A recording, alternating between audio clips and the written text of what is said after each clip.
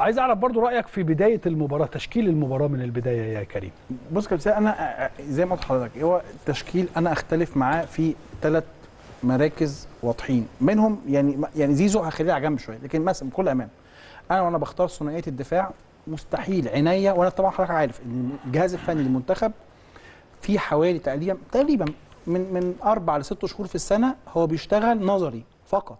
انت انت مش انت مش جهاز فني النادي مش قاعد طول اليوم عمال تطور أداء اللاعبين. صحيح. انت بتشتغل تقريبا من أربع لخمس شهور في السنة أو ست شهور وست شهور تانيين انت بتشتغل نظري بتتابع. صحيح. فطبيعي انت وجهازك المعاون ومحللين الأداء معاك في الفريق وانت بتتفرج على المدافعين منتخب مصر في آخر ثلاث شهور أكيد مع, مع كامل احترامي يعني مش محتاجة مش محتاج واحد بروفيشنال عشان يقول لك إن أفضل ثنائية هي ثنائية محمد عبد المنعم وياسر إبراهيم بواقع إن هما الاثنين بيلعبوا مع بعض.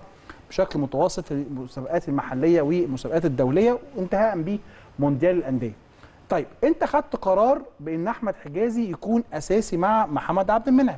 بكل أمانة أنا شو شو مش عايز أصلا حجازي برضه حجازي بكل أمانة في الآخر اسم كبير ولكن إحنا واجبنا نقول اللي شفناه في آخر ثلاث شهور.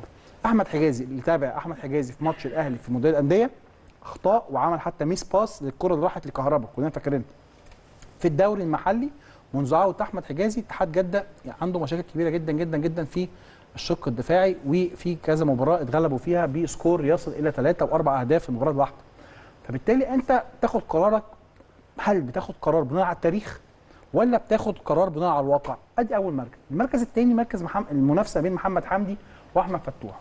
بكل أمان محمد حمدي دفاعيا النهارده كان سيء للغاية أخطاء في الرقابة.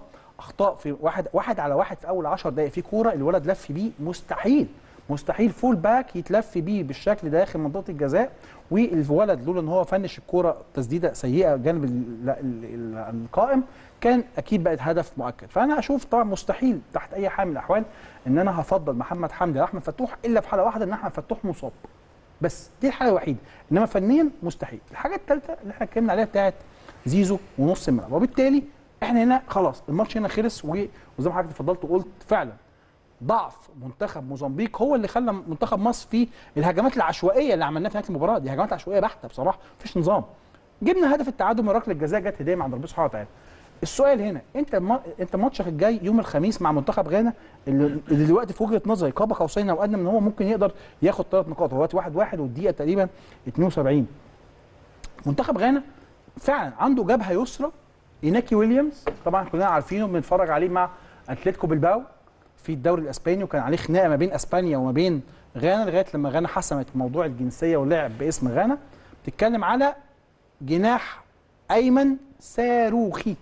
صاروخي سريع لأقصى درجة بالكرة أو بدون كره عندك فيتوريا هيعمل إيه بقى الماتش الجاي؟ هيلعب لك أحمد أبو الفتوح. أحمد الفتوح هو لازم يلعب أحمد فتوح بصراحة لازم. فأنت محتاج بقى طبعا ماتش غانا أنت محتاج تتدارك الأخطاء بداية من خط الدفاع وصولا ل تاني حل المعضلة. هنعمل إيه في معضلة صلاح وزيزو؟ هتستغنى عايز تستغنى هتستغنى عن واحد خد قرار. الاثنين مع بعض في الملعب ما ينفعش بكل أمانة. مصلحة منتخب مصر أهم من أي شيء تاني. الاثنين مع بعض في الملعب ما ينفعش. بس طبعا السيناريو اللي حضرتك تفضلت وقلته اللي كان ينفع ماتش موزمبيق ما ينفعش نعمله في ماتش غانا. لأن آه. عندك خناقة لا، لا، شديده لا، في نص الملعب. فهنا ممكن نروح للسيناريو اللي قاله ثابت إن إحنا النهارده بنلعب بثلاثه في خ- في- في خط الوسط ثلاثة صراحاء بنلعب مثلا بحمدي فتحي آه ستة وبلعب مروان بمروان وإمام. عاشور مثلا يعني فهنا هو لازم ياخد قرارات عشان يحسسني إن هو بيقرأ الموضوع يا كابتن إسلام لأن بكل أمانة أنا بحس إن فيتوريا بيتكلم كلامه بيعمل حاجات تانية خالص في حتة تانية. يعني أنت النهارده شغال تاريخيا. أنا النهارده متعود محمد صلاح أساسي في منتخب مصر. وطبعا مصطفى محمد النهارده رأس حرب صعب مرموش يلعب عليه مع إن مرموش عمل شغل جيد.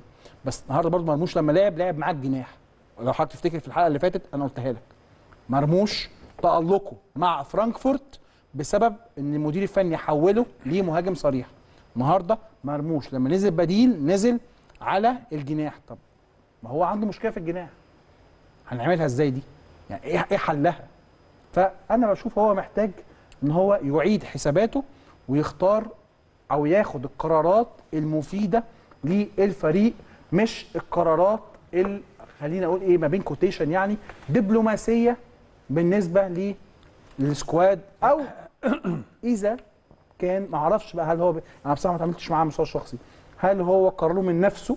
ولا قراره من استشارة المجموعة اللي حواليه. أنا المعلومة دي مش من عندي ولكن اللي شفته النهارده أكيد مليون في المية ما ينفعش يتكرر يوم الخميس.